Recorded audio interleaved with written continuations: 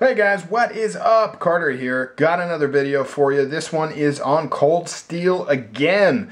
I am in love with cold steel this year and I don't care who hears it. Just kidding guys. Uh, well, kind of. I, I am really impressed with cold steel this year. I always have been a little bit of a cold steel fan, but uh, with their changes they've done, I'm more of a cold steel fan. And of course, I, I just really like Andrew Demko's knives, um, things like that. And you'll be hearing more about that soon. But in the meantime, I have a couple recons for you right here. These are Recon 1s, 2015s. Both of them are limited edition.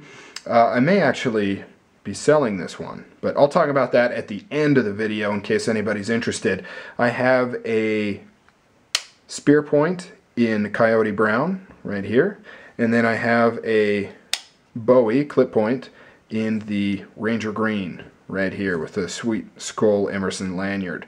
Um, now this isn't really going to be a review on uh, Recon 1s. There's plenty of reviews on Recon 1s out there. I think I've done one or two in the past. Uh, this is more showcasing uh, these limited editions as well as the changes that they've done in these knives this year in case you're wondering if there's any other differences. And I'm an idiot and I'm down here in the man cave representing, but I did not bring my uh, old Recon 1. I have an old, a uh, couple years old. It's a Bowie style blade Recon 1. It's upstairs.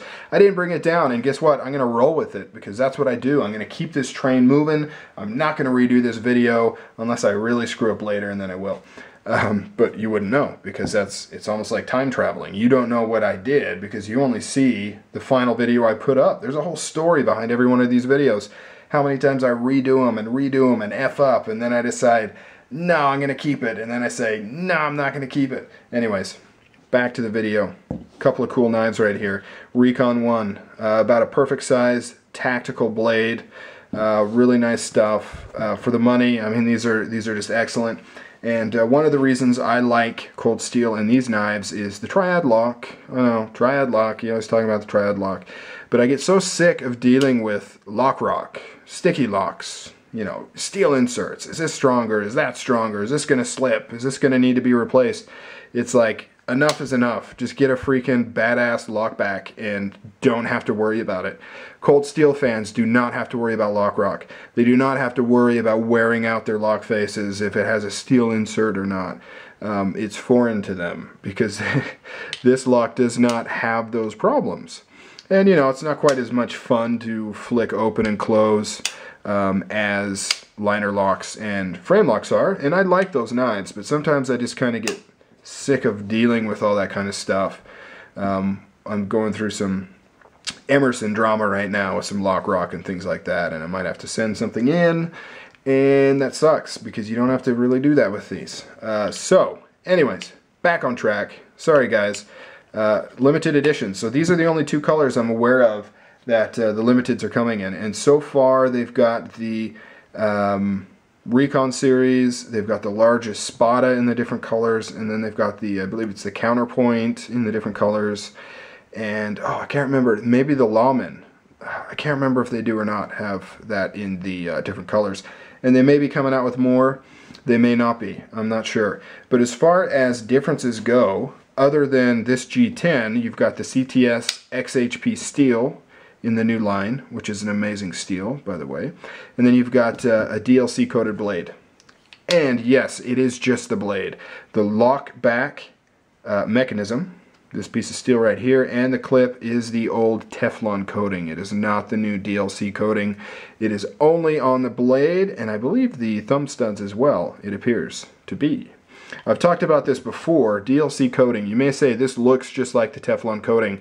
And it does. It really does. Uh, DLC coating is really just a micro film that goes on top of the steel, and it actually uh, chemically congeals with the steel uh, down to like a fraction of a millimeter into the steel. So it's chemically bonded to that steel. It doesn't just sit on top um, waiting to be scraped off like the Teflon coating does. Uh, and you can see that with this design change. In old uh, Recons, right here on the tang, which slides underneath the lock bar right here. Uh, this used to be bare metal. because if they didn't put bare metal and they had the Teflon coating on here, every time you do this, it would start scraping off and you would get all this Teflon gunk build up inside of your pivot and along this track here. With the DLC coating, it's not a concern. You can see how it is black. Even though it's scraping on this metal, it is black. It doesn't come off. It's not, it, you shouldn't even call it a coating. It's really not a coating. It's changing the chemical structure on the very, very surface of the steel. And so that reason, it takes on the um, characteristics of the steel underneath. So in this case, it's put on a kind of a smooth, I wouldn't necessarily call it satin, but you know what the steel looks like when you scrape off the Teflon coating. It's a very flat, semi-gloss kind of surface. And so that's what it keeps.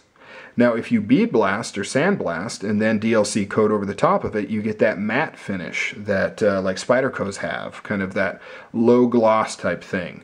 And you know, to be honest, I really kind of wished that's what this was.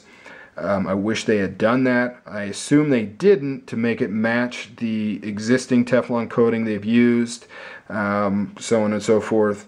Uh, it's probably a slightly more durable finish to do it on something like this as opposed to the kind of matte finish. Um, I don't know for sure. But uh, the thing you'll notice with this DLC coating, if you haven't picked up the, the drift yet, is that it's not going to scrape off on you. You're going to use the crap out of the knife and you're not going to have pieces flaking off like you do with the uh, Teflon coating. That's good and bad. Uh, for people that like to remove coatings, you will not be able to remove this. So don't even try. Don't even think that you can buy one of these and start scraping it off with the screwdriver like you did the old coating. It's not going to happen.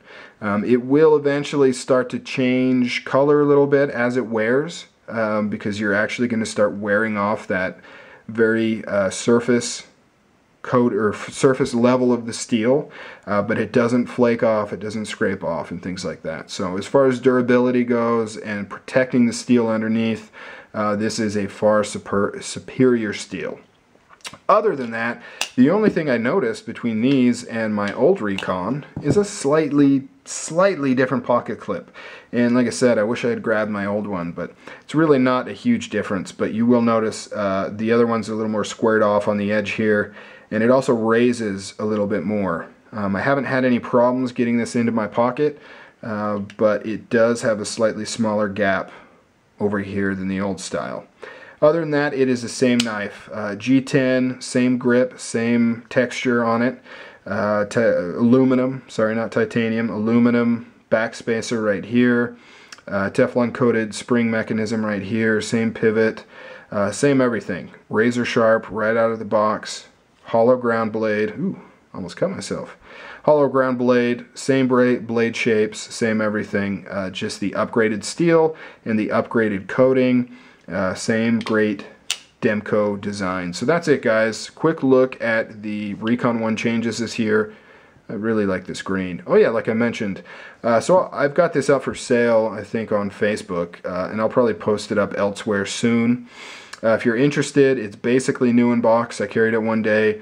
Um, just minor, minor use. You can see it's in perfect condition. Uh, limited edition, Coyote Brown, Spear Point.